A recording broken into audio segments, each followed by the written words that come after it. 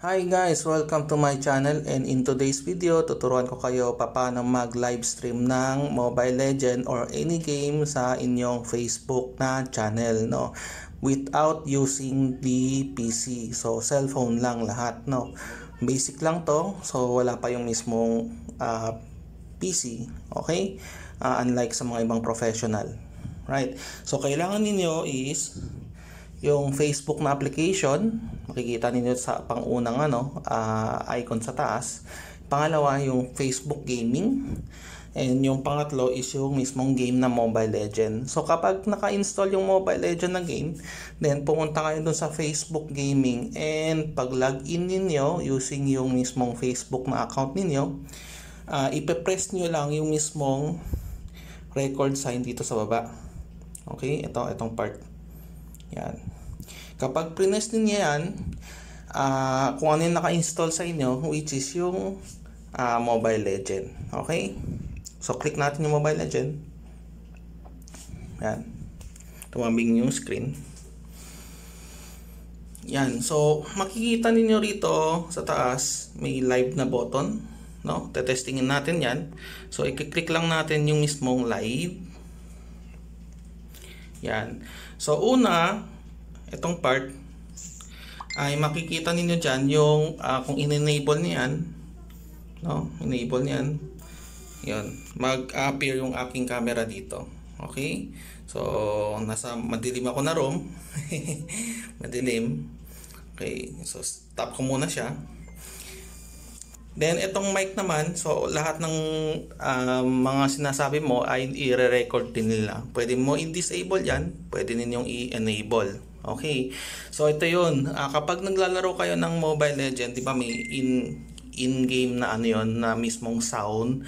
Yung in-game na sound niyo galing sa speaker mismo, no? Pupunta dun sa microphone ninyo ng ano uh, mis ng ano ng mismong device no so hindi siya exact na uh, gameplay na sound okay kasi dinasable yun ni ano eh, ni Facebook mobile na game.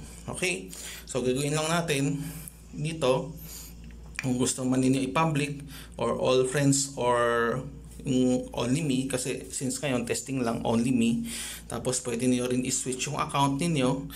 Kung marami man kayong ano uh, yung mga account ninyo pwede niyo i-switch uh, I suggest na gumawa kayo ng ano Facebook page na gaming so lahat ng mga games niyo doon niyo ilalagay okay so ngayon kung ano yung gusto kong i-ano lagay dito sa title is testing Alright, testing lang.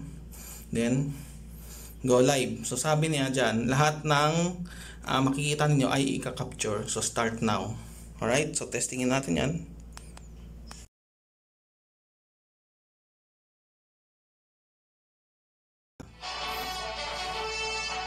Yan. Your live stream has stopped.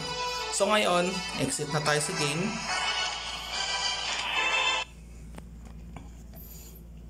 Yan. Tapos punta tayo sa ating Facebook na page. Yan. I-refresh ko lang yung page ko. Yan. So makikita niyo na dito yung Mobile Legend ay uh, makikita niyo na, na rito naka-live. So naririnig din yung music, no? Yan. Galing yan dun sa speaker ng aking mobile Yun, phone. so yun, may sound, di ba? Yun. Yun may music. At the same time, nagsasalita ako. So kung kapag tapos na kayo mag-streaming, Okay, so dyan ang tatapos ang aking video. And if you like yung aking tutorial, uh, make sure to subscribe to my channel. Thank you for watching.